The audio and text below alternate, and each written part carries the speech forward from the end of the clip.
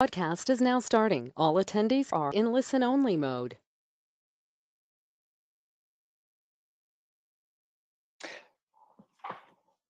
Hello, everybody. This is a BovINE webinar uh, today, and uh, this webinar will be recorded. And uh, my name is Frank Zerbe, and I'm the leader of a work package and I want to firstly introduce into BovINE, that means Beef Innovation Network Europe. Uh, this is a EU-funded pr uh, project and over three years. And the aim, oh, sorry, now, okay, and uh, BovINE has its own uh, website you see here. And uh, if you enter this website, uh, you find the left-hand view. And BovINE is a consortium out of different partners from nine EU countries. They are included beef associations, stakeholders, scientific institutions and universities, and also farm advisory companies and so on. And if you enter our website, you find the main four working groups named uh, one, socioeconomic resilience, animal health and welfare, production efficiency and meat quality, and environmental sustainability. If you click such an icon, you enter, enter the working group, you have information about the working group and uh, contact data. And uh, if you make a click on a flag of the countries, you uh, receive contact data from uh, the network network managers in your country. And uh, yes you can uh, take their contact to the uh, to the persons and institutions. Yes what uh, you have on our website also access to our uh, BovINE Knowledge Hub, uh, shown on the left-hand side. And uh, the main aim of BovINE is to share innovations and good practices. we want to identify different needs of farmers and their networkers and we review literature and collect innovations and uh, these will done in four thematic areas uh, and we are here uh, the technical working group animal health and welfare. And yes if you uh, want to enter the BovINE Knowledge Hub, then you, first you uh, uh, you were shown uh, the uh, registration sheet on the left hand side, and there uh, uh, the sheet you make your data, and this must be submitted, and then you have the log in for the Knowledge Hub. At the Knowledge Hub, uh, there are presented different articles also for our technical working group. And here are shown the uh, four uh, yes, topics, priority topics, and uh, what uh, you can find in each folder there are different articles where you can read again about the topics and uh, you find links and also links to other articles or uh, to other working groups. And uh, there you can also find an article about scoring vitality in newborn calves. And uh, this is the basis of our webinar today. Uh, and we want to have a talk on this uh, research innovation. And our webinar uh, is called Methods of Assessing the Vitality of Newborn Calves and the Benefits for Suckler Farms. And during our webinar, please use the Q box for your questions. You find it in the panel. And uh, yes, uh, we try to answer the question at the end, at the end of the webinar. Uh, the basis of our webinar is one publication, uh, Managing the Calf at Calving Time. And I'm very happy to welcome the author of the publication, John Mee from Teagasc. And uh, hello, John. Afternoon, Frank. Uh, hello. Uh, would you give us some short words about your person that we know where you come from and what you what you are doing? Yes, of course. Um, John Mee is my name. I'm a, a veterinary scientist working with Teagasc uh, in Ireland. Teagasc is our national uh, research, advice and education organization dealing with agriculture. And as Frank mentioned, they're a member of the Bovine uh, Network. Uh, and in my research work, I'm a specialist in calf health. So I've spent many years working in various diseases and problems and production aspects of calf health also. So that's my background briefly. Thank you, John. You are welcome. My second partner in this webinar is Annalena Lindau. Uh, she is working at the Bundesverband Rind-Schwein in Germany. And she is also busy at her veterinary practice. Hello, Anna. Lena. Hello, Frank. Would you introduce yourself also with few words? Yes, of course. Um, well, as you said before, my name is uh, Annalena Lindau, and I'm a veterinary practitioner uh, running an own veterinary practice in Germany. And uh, I'm also um, part of the Federal Association for yeah, beef and uh, pigs in Germany. And in this function, I'm working in the bovine network um, and establish good practices for beef farms. Okay, thank you. You are welcome.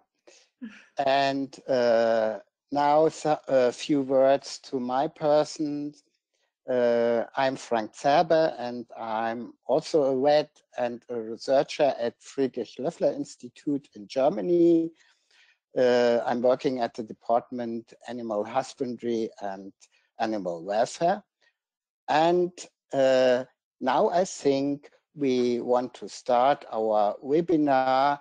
Uh, John, we want to change our screens. That is your floor. Excellent.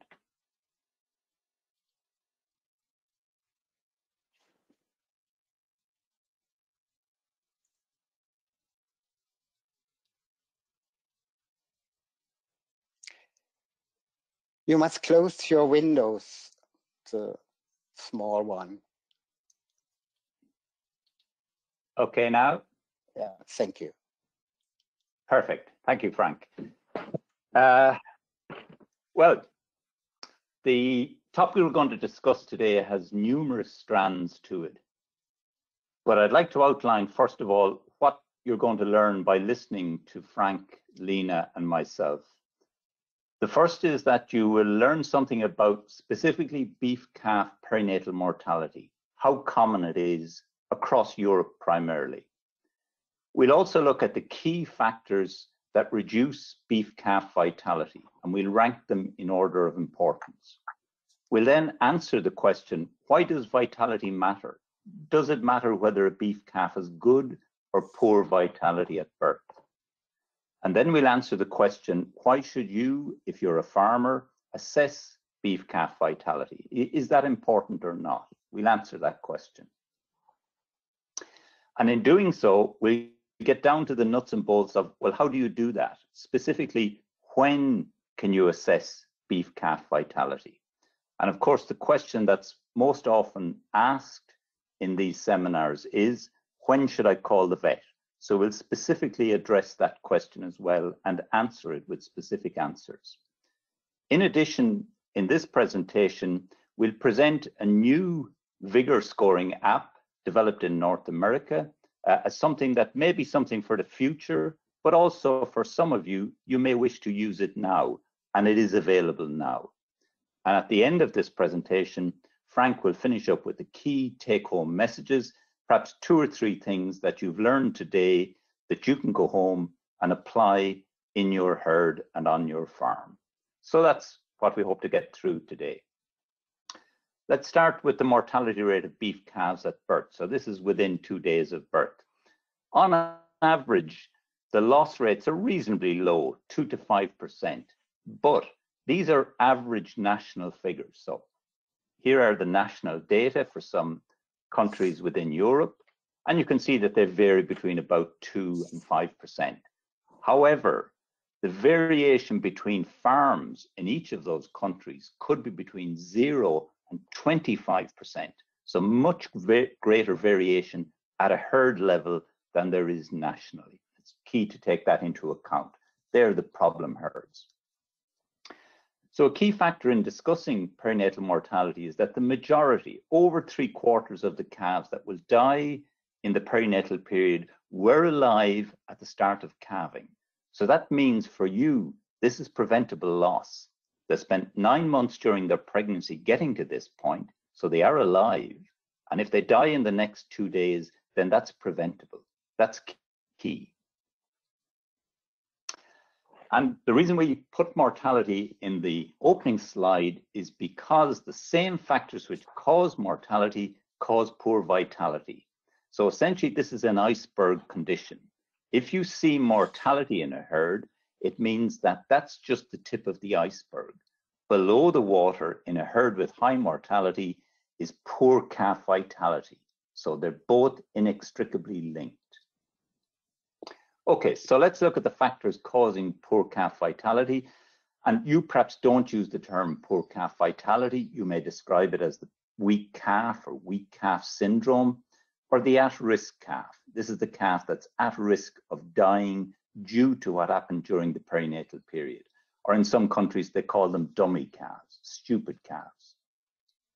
So the number one factor associated with poor calf vitality are calving problems, specifically calvings that are too long, calvings that have excessive trauma to the calf, calvings in which the calf is malpresented, in which there may be a uterine torsion, or there had to be a cesarean section, or the calving was induced, or the placenta parted separation early during calving, or there was an accident with the umbilical cord. So numerous problems that occur at calving are the primary causes of a weak calf at birth. But they're not the only causes. There are infections which occur in utero during the pregnancy.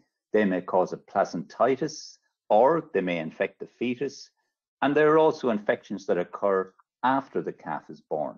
So these we describe as if they infect many organs as a septicemia, but they may affect specific organs such as the lungs causing pneumonia. So they also cause weak calves.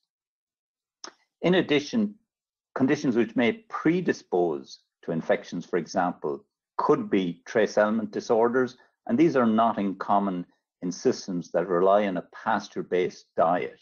And not uncommonly, you would find iodine deficiency, selenium deficiency, perhaps less common manganese, and also on an individual cow basis, you may get intrauterine growth retardation, cows in very poor body condition during pregnancy producing small, weak calves at birth. Genetics can also have a role to play. So specific breeds or crossbreeds can have more or less vital calves, or specific sires within a breed can produce calves that have greater or lesser vitality, and the per predicted transmitting ability of the sire is a guide to its ability to produce vital calves. And of course, occasionally we have inherited congenital defect, deformed calves at birth. It might be they might have contracted tendons or whatever, some defect that reduces the vitality at birth. And again, for outdoor management systems, management systems like grass, the weather has a major role to play. So calves that are born into an environment where they have hypothermia shortly after birth that's not resolved are going to be weaker after birth. And to a small extent, the technopathies are relevant. So calves born indoor on very slippy floors will find it very difficult to stand up and get a suck quickly after birth. So they're at risk of subsequent issues. And occasionally there will be accidents caused by stomach tubing where, where the colostrum is placed in the lungs of the calf and calves will die because of that. So, so they're minor issues. So you can see the ranking of important issues is as shown on the slide. And that's illustrated really well here in this Canadian research on beef calf vitality and comparing it with the degree of difficulty at calving. And you can see clearly that as the difficulty of calving increases, the vigor of the calf decreases. So the more difficult the calving, the less vital the calf is going to be. And if we ask the question, but how does that happen? How does a difficult calving cause a weak calf? Well, this is the basic pathophysiology of what happens during a difficult calving. So as you can see in the top, during a difficult calving, you'll have prolonged and frequent uterine contractions. You'll have separation of the placenta, sometimes prematurely, sometimes it's infected. You will have occlusion of the umbilical cord, and sometimes there'll be accidents with that cord. It may be wrapped around the hind leg of a calf, it may be wrapped around the neck of a calf. And all of these factors contribute to reducing the blood flow through the umbilical cord to the calf in utero. And when that happens, the calf has a lower blood oxygen saturation and a higher blood carbon dioxide content. And the result of this respiratory acidosis is it leads to anaerobic glycolysis in the tissues and excessive production of lactic acid. And the result of both of these features, the respiratory acidosis and the metabolic acidosis, is what's described as the weak calf syndrome. And if these conditions are prolonged and or severe, it can result in the death of the calf. So that's essentially how a newborn calf becomes weak immediately after birth due to these physiological factors occurring during a difficult calving. So we go back and ask the question, why does calf vitality matter? does it matter whether a calf is weak or not at birth? It, it, it does. So vital calves will stand up unassisted quicker. So their inherent vitality means they will stand quicker. And we know the importance of that it means they will be quicker to get their first suck or to attempt to get their first suck. And this is obviously critically important if you're not present at the calving. And unobserved, unassisted calving relies on the calf being vital and being able to stand up and suck without assistance. Additionally, calves that don't go through a difficult calving and are vital at birth will absorb more antibodies from the colostrum because they'll have suffered less damage to the lining of their bowel due to the hypoxia that occurs during that prolonged birth. And if they are vital and they've stood up quickly and they've sucked quickly, then they're going to be at lower risk of all of the common conditions that occur in the newborn calf, such as navel ill, diarrhea, pneumonia, and ultimately mortality. And the end result of all of this is that a vital calf will have a higher average daily gain and be a more profitable animal in the herd subsequently. So in answer to the question, does calf vitality matter? You can see clearly it matters with an economic bottom line. So if that's the answer to does vitality matter, the next question, well, does assessment of vitality matter, which is a totally separate question. So what does it do? Essentially, it allows you to predict, to treat, and to prevent. So as regards prediction, it allows you to predict that a calf is going to be weak during and after birth, and this can allow you to decide whether or when you'll call your vet in advance of the problem occurring, not after the problem has occurred. It allows you to treat the at-risk calves promptly and correctly because you've assessed their vitality and determined that they require this therapy. And as I've said previously, if you detect and then you treat, you will prevent. So the problems of navel diarrhea, and pneumonia that are related to poor vitality at birth can be prevented if you assess that vitality at birth. And in retrospect, your assessment of your calf's vitality assists your veterinary practitioner if they have to investigate an outbreak of weak calf syndrome in your herd. So as a retrospective tool, the records you create in assessing calf vitality are vitally important to your veterinary practitioner's investigation of the problems in your herd. So if we've decided that calf vitality is important, an assessment of calf vitality important, the next question obviously is, well then, how do you do it? Well, let's start with when do you do it? So you can assess calf vitality during calving. And I've written here on the slide that if you're not there, you don't care. So you obviously have to be at the calving. And by calving, I'm talking about stage two, when the calf is being born. You can also assess calf vitality immediately after the calf is born. And there are three simple categories. Either it's a very vital, strong calf, it's a weak calf, or it's dead. And it is advisable to reassess the calf within about 15 minutes of birth, and we'll discuss which are the best ways to do that. And the suck reflex is an excellent method of doing that. And the reason these assessments are important is that you have what I describe as the golden hour. The first hour of the calf's life determines the success of its life. So during this period, you need to rapidly assess the need for therapy and respond rapidly. So during this time, you'll assess calf vitality. You may or may not, depending on what you find, initiate resuscitation, apply umbilical antisepsis, feed colostrum, and insert identity tags in the calf. So all of this is done. And the real point here is the timing of what you do is as important as what you actually do. So timing matters. Okay, so let's start during calving. So we have a cow that's calving, the calf is not yet out. What can we learn about the vitality of the, that calf before it's born? So these are the visible criteria that you can assess without any equipment or tools. All that's required is knowledge and experience. So if we start with the water bag, so this is technically the second water bag or the, the amnion, the characteristics you see in that water bag give you a guide as to what has happened during that calving. So we expect it to be translucent, but if the water in the bag is brown, it indicates meconium staining. This indicates a stress in the calf during birth.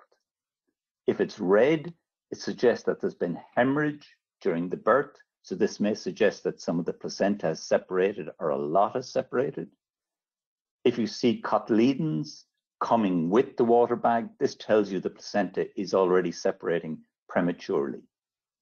And if when the water bag breaks or you break it, the liquid in the bag is fetid, there's a bad odor, this indicates that this calf is probably already dead. So all of that information just by assessing the water bag. If we then move on to the fetus, the best indication of fetal vitality are its reflexes. And of those reflexes, the best reflex to assess is the pedal reflex, because this responds best, is most sensitive to acidosis in the fetus.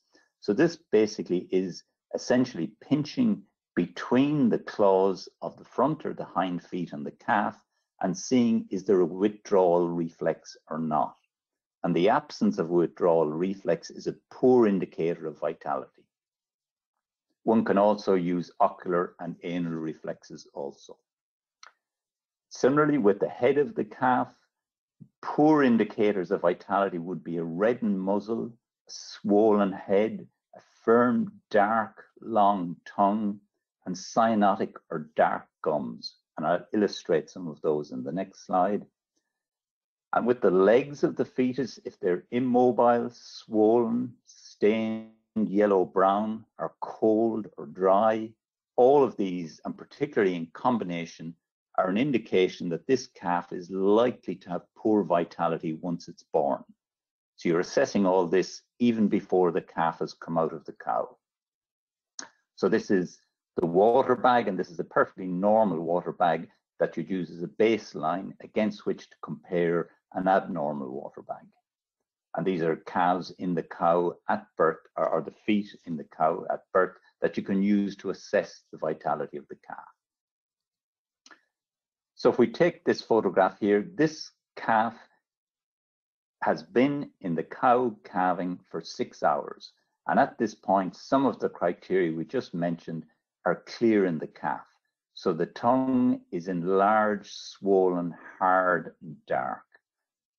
The feet are enlarged and they're stained with this yellow fluid, which is the feces of the calf. So the calf has excreted its own feces during stage one of calving and has coated these the, the feet of the calf, indicating the calf is stressed. On the right-hand side of the slide, you'll see this purple discoloration of the gums of the calf, and this is cyanosis in the newborn calf. While on the left, you'll see this enlarged tongue and swollen head in the calf, again indicating prolonged difficult calving and will result in either a less vital calf or in this case, a dead calf. So if we now move to after calving, the calf is born. So what criteria can we use then? So on the left are the criteria and the zero or the 15 indicates zero, which is at birth or 15 minutes within 15 minutes of birth. So respiration is the first thing to assess in the newborn calf. And it will take a calf a few seconds only to start breathing.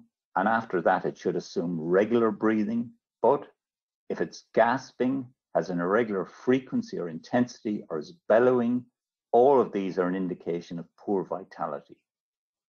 I've mentioned the mucous membranes. Cyanosis is not uncommon. On occasion, you can have pallor, so these are extremely white mucous membranes, the eye or the gums. This indicates the calf has bled. There's a lack of blood in the calf for whatever reason. The heart rate can also be checked, and in simple terms, it can be weak or irregular, slow or absent. Uh, you can record the actual heart rate itself by placing your hand on the left-hand side of the calf's chest beneath the elbow and record over 15 seconds what the heart rate is and multiply by four. The muscle tone is also a good indicator, so flaccidity of the muscle or inactivity of the calf are poor indicators of vitality. And highlighted in bold are one of the best indicators, which is the tongue pinch withdrawal reflex or the suck response. Good recent Canadian research has shown this to be a very good indicator of subsequent ability of the calf to consume an adequate volume of colostrum. So where the suck response is poor, delayed, or absent, it's unlikely this calf will spontaneously consume an adequate volume of colostrum. Another indicator is lateral recumbence. So calf will be born and will be in lateral recumbence initially, but if this is prolonged, and by prolonged, I mean more than approximately five minutes, that's an indicator that the vitality of the calf is poor. And the longer it spends in lateral recumbence, the worse its vitality.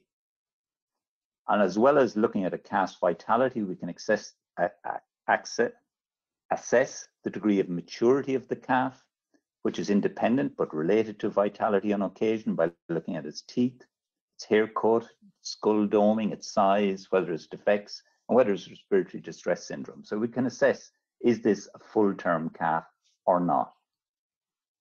So as I mentioned, the suck reflex is a really good indicator of, is this a vital calf or not? So basically simply putting two or three fingers into a calf's mouth and seeing how well, if at all, the calf sucks your fingers is a very good way to check is this calf vital and can it and will it consume colostrum of its own accord after calving?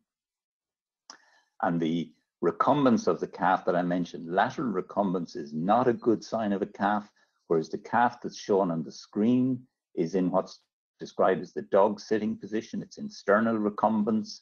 And this is the way a calf should be positioned immediately after calving on all occasions. And this prevents what's described as hypostatic congestion. That is a calf that lies on its side, pools blood in its lower lung, so is less efficient at breathing in both of its lungs. So all calves immediately after birth should be placed in this sternal recumbence position. So that's a, a brief uh, run through the basics of assessing the vitality of the calf after birth, and I'll hand back to Frank now. Yeah. Okay, thank you very much, John. I think it's important in your uh, presentation that, oh, moment, that, that the farmer should use the, the golden hour uh, for assessing calf vitality. That is important. Okay, we go to the next slide. When should I call my vet? Um, yes, uh, there is low risk calving if you have a mature cow or uh, you know that uh, uh, the cow have easy calvings. And there are also uh, with short gestation that the calf may be smaller. And uh, it is very important, as uh, John already told us, um, that the ca calf uh, sit up and come in the sternal recumbence within a short time after birth.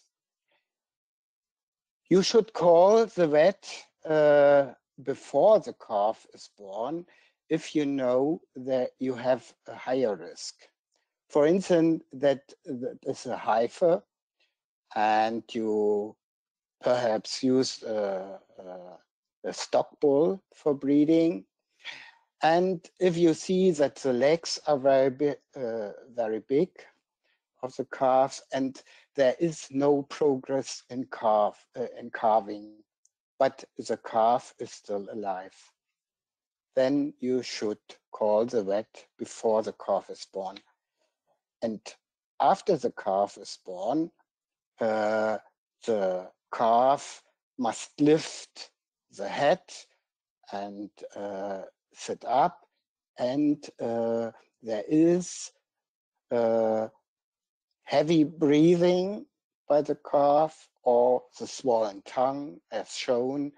And uh, for instance, that the dam is showing no interest in the calf.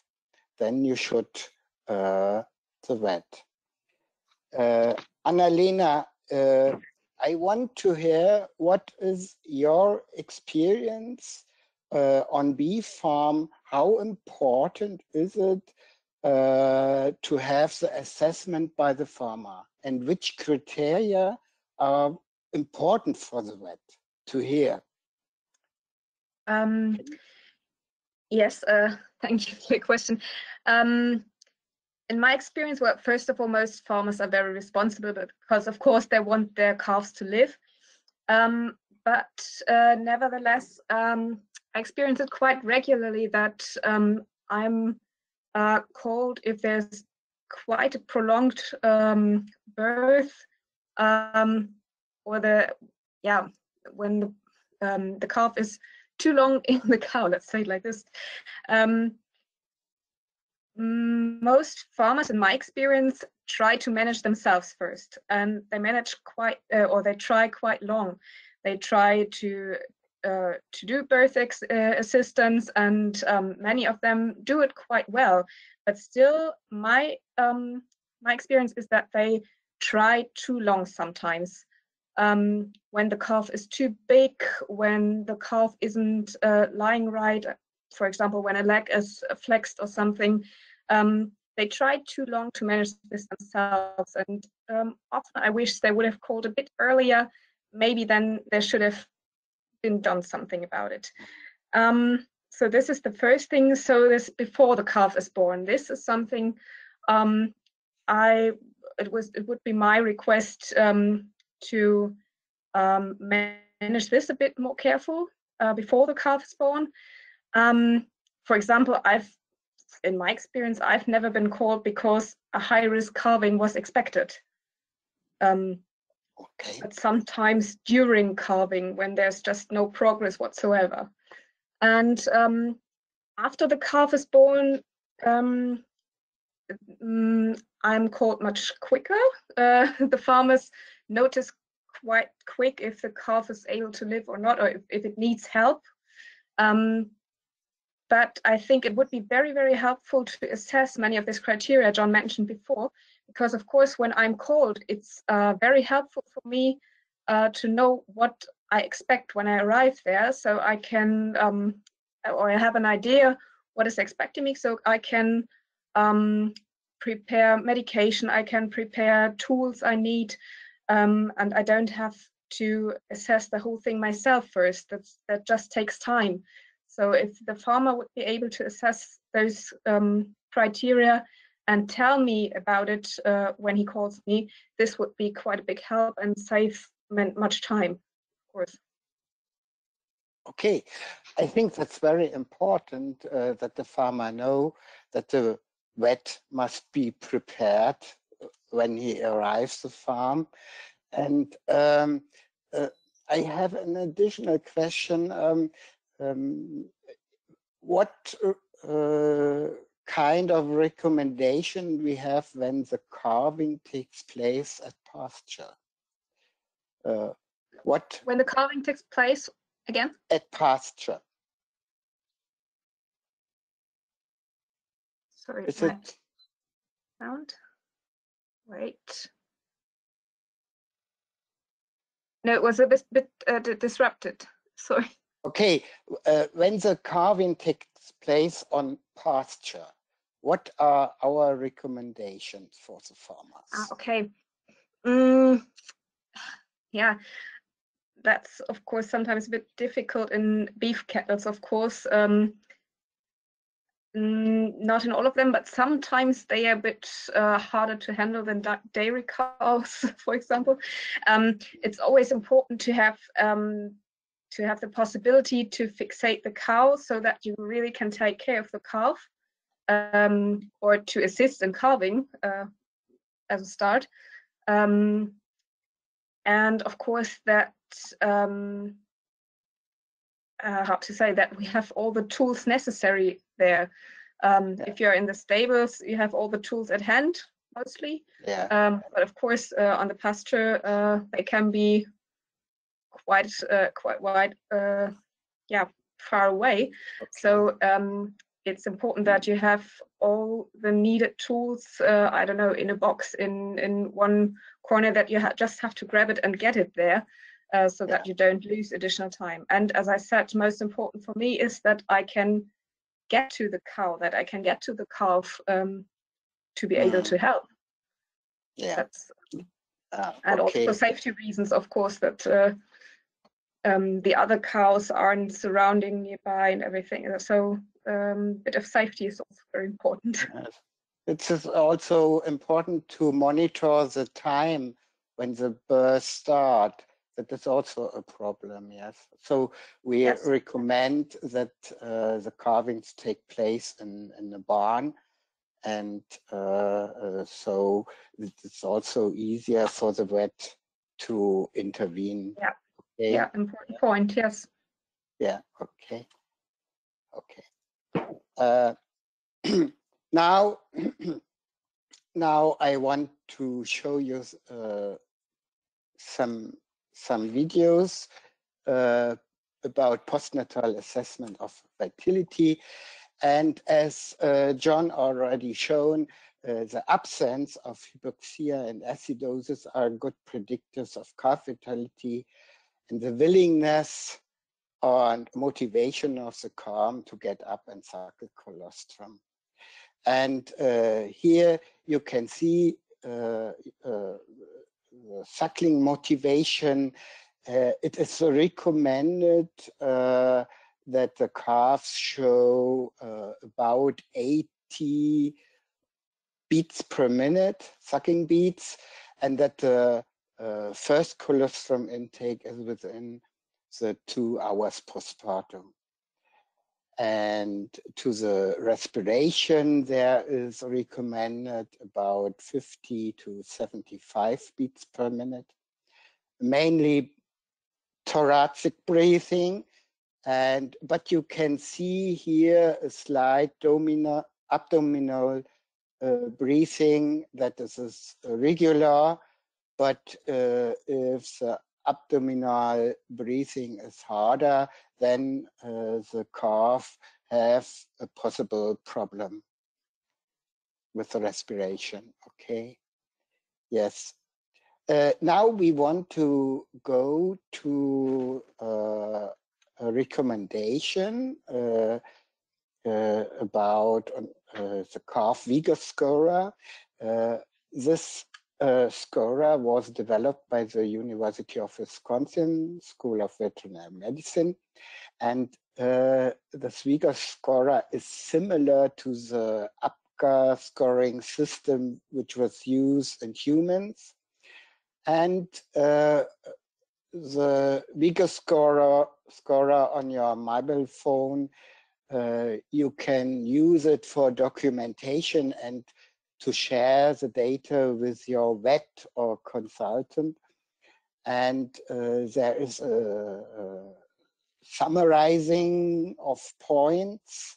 And if you have uh, 26 to 27 points, then uh, uh it is excellent.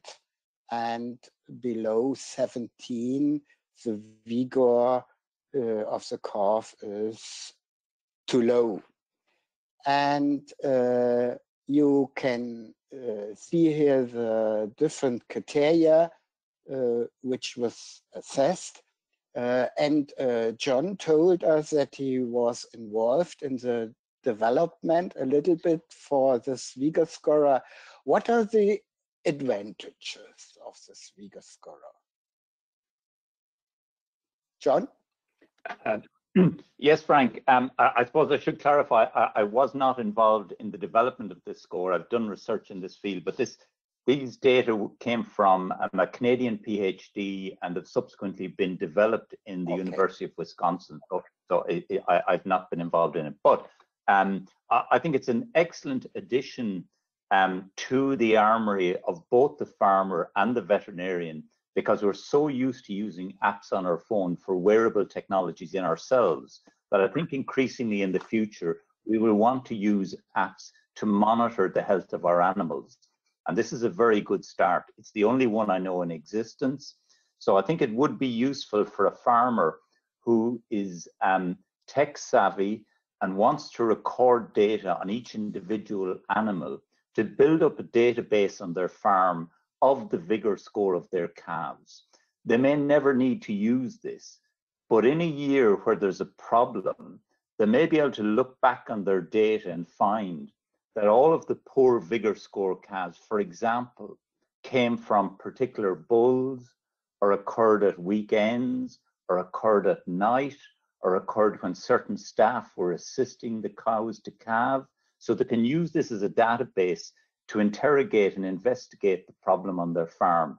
And of course, if they share that with their practicing veterinarian, they can then engage with their veterinarian using data on calf vigor on their own farm. So I, I think in that way, um, to me, it's a potentially excellent tool for that use. and Lena probably has comments from a, a practitioner's perspective. Uh, yes, I have. I um, this Vigor score was quite new to me as well, I, I, have to admit, but I tested it for a time now and I really do like it. I really would recommend to use it, definitely. It's quite easy to use and um, everyone attending here who's from Germany, this is uh, also, in, this app is also available in German, so um, there shouldn't be a problem. Um, And the interface is exactly like you see it here.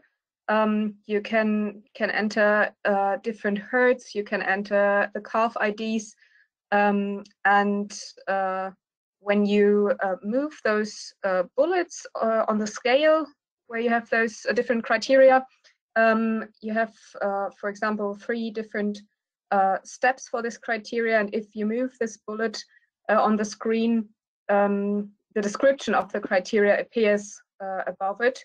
So you um, know exactly what you are selecting. And as you see above, there's a total score for this calf. Um, and uh, there's a legend in this app where you can see what this score means, if, if this calf has a poor vitality, if, or if it's a strong calf, or anything.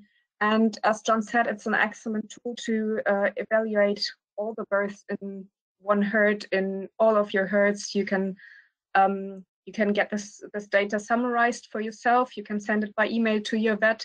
So um, I think this is a really useful um, tool. Uh, the only two really, really small critics I found is um, in the practical use. For me, just a small remark, this shouldn't be, uh, this shouldn't be the criteria uh, to use it or not. I found it quite difficult because when you do birth uh, assistant when you do um, uh, when you are assessing vitality in calves you just get dirty hands. It's like it is. And to touch your screen with it might be difficult but maybe uh, next to good hygiene this is uh, another argument for gloves. So uh, not so bad. And uh, in this app there is no kind of um, advisement.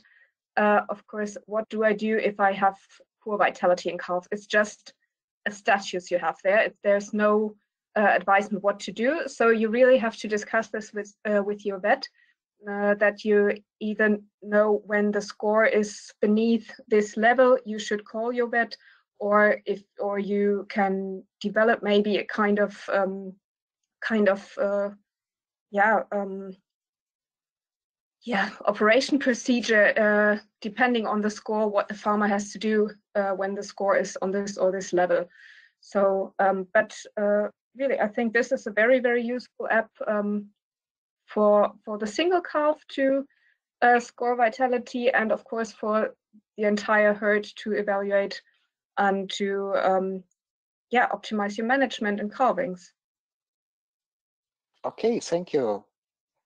Um, the, um, the figure below, uh, which you see that uh, is uh, included by John. Uh, if you have a dark calf and you want to uh, control if there is much meconium, then you can use a white sheet. That is included. Uh, Yes, and now we are at uh, the take-home messages.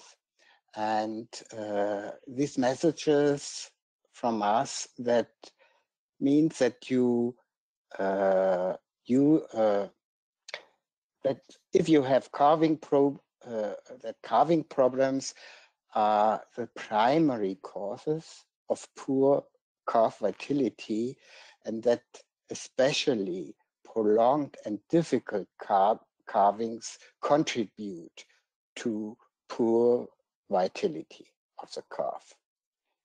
And the second is that you should assess vitality during and after calving. During calving, mainly by reflexes, and after calving, the sucking reflex is uh, important especially that uh, the calf ingest colostrum because the resorption of antibodies, colostrum antibodies are closed after 24 hours.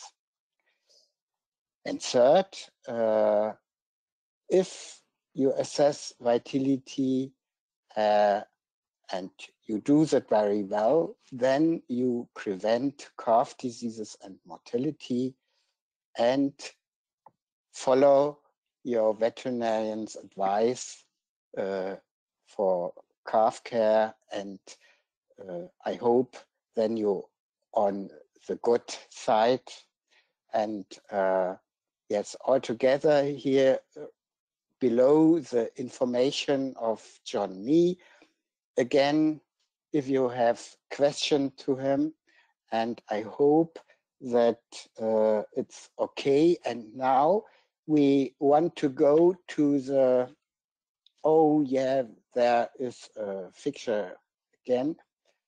Okay, and now we go to uh, the question, and I hope there are many questions in the Q box. Uh, Rhonda, can you give us more information? At the moment, uh, there are no questions in the Q box. Um, you've obviously covered a great deal of ground here for the people attending the webinar. Um, I have one question uh, regarding the available uh, availability of the app. Um, it's in English and German only at the moment. Is that right? Uh, John, I don't know if you have further informations there. Um, in German, it's for sure. In English too. I don't know about other languages. Uh, nor do I, to be honest. No, I don't know. Um, I, I, would say simply Google it and you'll find find details. Yeah, yeah. Yes. Yeah. Okay. Yeah, And, yeah. and and there's no charge at all. It's it's literally a free uh, scoring system.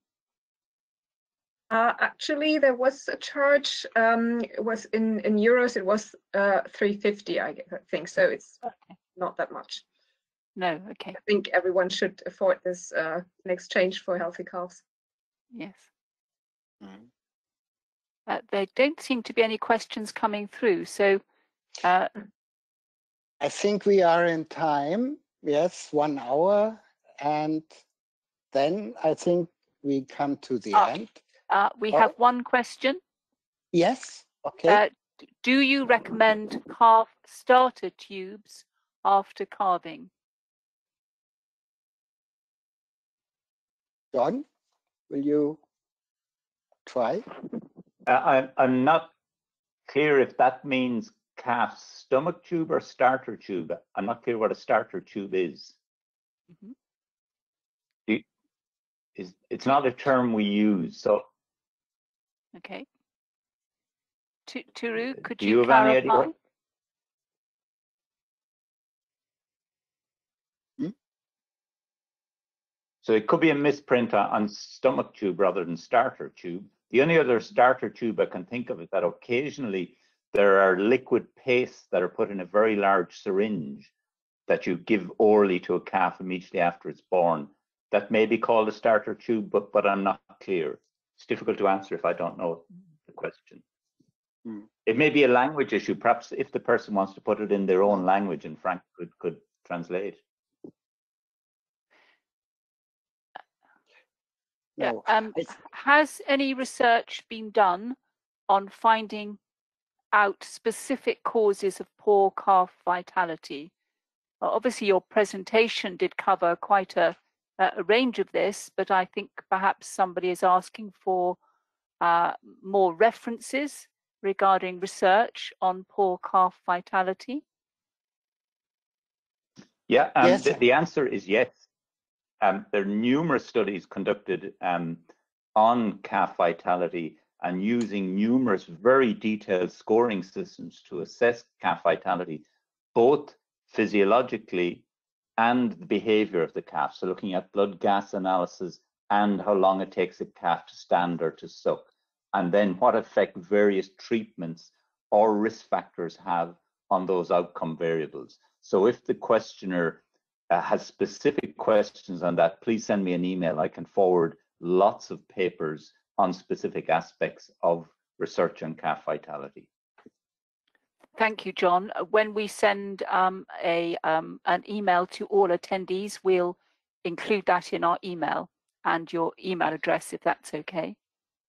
Yep, Uh, fine, one- fine. Lovely. One more question. What is the best way to reduce tongue swelling in a calf that has been calving for a prolonged period? Hmm. Mm. Is that a difficult question? No, no, Lena, do you want to go first? Um, I think this is uh, for this question uh, means if the calf is born and has a swollen tongue, if I understand this right. Um, yes, Lena. Yes, okay. Um, I usually use uh, dexamethasone um, for quick, uh, well, down swelling. Now, how is it called? Um, so uh, that the tongue gets uh, to his its normal size as quickly as possible. Um, but uh, you have to use the right dosage, and um, I uh, apply it uh, into the veins of the calf so that it's it qui- quickly reaches its uh, target. Um, but it's important to uh, to assist the calf during. I mean, this this doesn't go immediately, so there's still a time between application of the medicine and uh, normal uh, size of the tongue. So it's important to assist the calf uh, to uh, to breathe still uh, until it can breathe normally on its own. So, so this is something that actually is you should call the vet for. Yes, definitely. Yeah, uh, where this is, yeah, uh, if the calf's uh, born already, uh, this can be too late. So this is why John uh, stressed so much that you should assess vitality in calves during birth. Um, mostly if the tongue is swollen after birth, it can be seen also during birth that it starts to swell. Um, so it's really important that you call the vet uh, before the calf is born. Um, i- If I can add, if I can add to that, Lena, um, the, the, the primary reason farmers are concerned about a swollen tongue is that the calf with the swollen tongue can't suck. So that's the real concern because they just can't manipulate their tongue when, as I mentioned, it's very long, it's very hard, and as you've seen, very swollen. True. So, yeah. so the calf may be alive, but and can stand, but they just cannot suck the cow. Particularly cows that have abnormal teats, very large pendulous teats, or very small teats in a heifer. They just can't grasp them with their tongue because they can't create the suction in their mouth, the negative pressure. So that's the biggest concern of the farmer. And traditional remedies such as putting salt on the tongue to, to use osmotic pressure to reduce the size of the tongue, that would be a traditional remedy. Um, Okay. are, are- are fine for, for very little swelling of the tongue. But the cases you're talking about, um, th- that, that will have no effect at all. So the key things would be one, to detect it early that it is swollen and not leave a calf with the cow unable to suck. So to make a diagnosis, the cow, the calf has a swollen tongue, and then to immediately milk out the cow and stomach tube the calf, the colostrum. Don't rely on the calf's tongue to resolve in time. Give the colostrum early and allow the tongue to reduce in size over time, or better still, call the vet, as you said, to that calf because the calf that has a swollen tongue also more than likely has acidosis. The two go together. So in that case, the vet may be both able to treat the swollen tongue as you've identified and specified, but they may also decide that the, re- this calf requires sodium bicarbonate or some other therapy for a lactic acidosis. So the benefit in this case is make quick diagnosis as a farmer, give first aid therapy, and call in your veterinarian for the prolonged treatment that that calf also requires. okay. Yeah, yeah, in that, fact- that are good points. I I just assumed the tongue was so swollen the calf is, isn't even able to breathe, but of course there are uh, different uh, yeah different stages of swollen tongue. So of course that's what you Yeah, said. Uh, yeah. In, in fact, there was a follow-up question about bicarbonate, which you've now answered. Uh, one more question. I think probably this has to be the last. How should farmers fix calving cows on the pasture? Which you mentioned, Lena, particularly from a health and safety viewpoint. And the questioner is asking, do you have some good examples? Um, yes, one good example would be uh, uh, I really don't know the English word for it. It's uh, it's a kind of uh, uh, yeah cage or wagon you can uh, pull behind your tractor. I don't know the English word for it, uh, Mhm. to be honest. Um, horse box, perhaps. Um, yeah. okay. A, a- Um, a, a trailer or a box, you mean? Uh, that yeah, that- yeah, yeah. Right. Yeah. Yeah. right. There are special trailers or boxes where you ca- uh, that you can just drive onto the pasture um, and get the cow into this, even if you can't touch the cow at first, but at least you have it in a smaller room where you may be able to fixate it uh, uh, somehow. Uh, and of course, you can use some metal panels. Uh, most uh, farmers have those panels. You can either build a small coral of it, or you can um, you can also um, yeah put a few panels together and um, put one inside it where you can fixate the cow between two panels that there's no real space to move for the cow. Um, always depending on on the character of the cow, of course, but those are good uh, methods, I think, to fixate cows on pasture. Where you can work with, you can reach the cow, but you have um, smaller, yeah, um, Okay. Thank, you thank you. more security. Yeah. Uh, there's one, uh, we will make this one the last one, a specific question about Belgian blue newborn calves.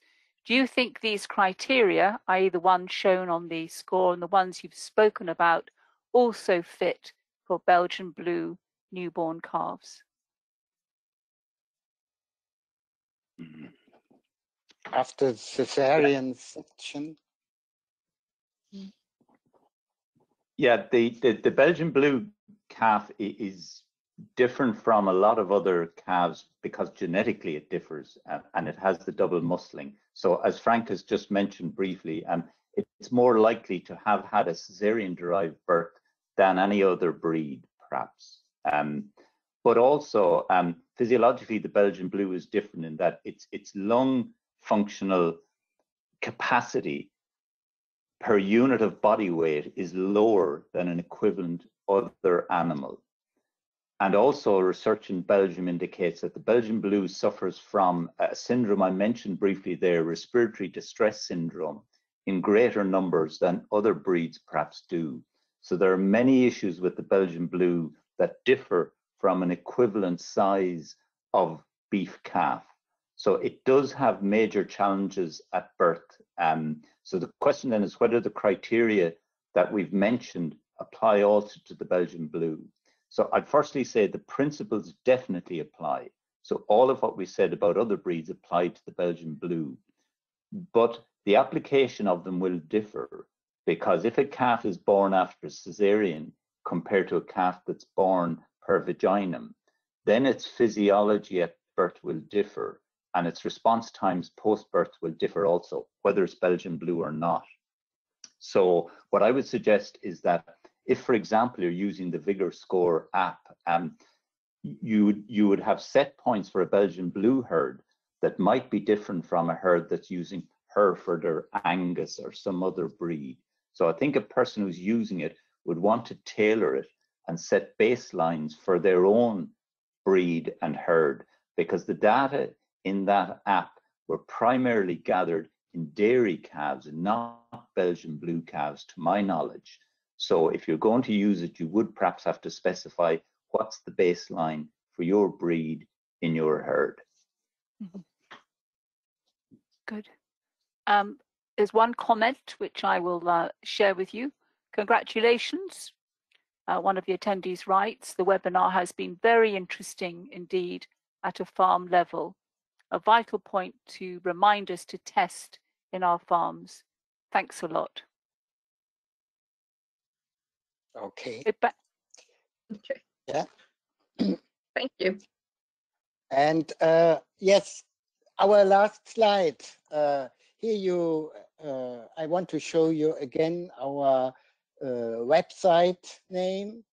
And uh, there you are invited to join our mailing list uh, uh, via the BovINE Hub registration.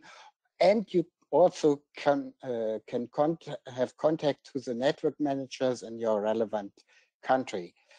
I want to thank Minerva for the organization of the webinar, to my partners, John and Lena. Thank you very much. And I want to thank the audience for your attention. Thank you very much and goodbye. Have a and we will see us. Uh, our next BovINE webinar will be in May, and uh, there were a presentation of the technical working group, uh, social no, no uh, sustain environmental sustainability. Okay, see you next, and goodbye to all. Bye bye. Thank you all very much. Thank you. Thank you.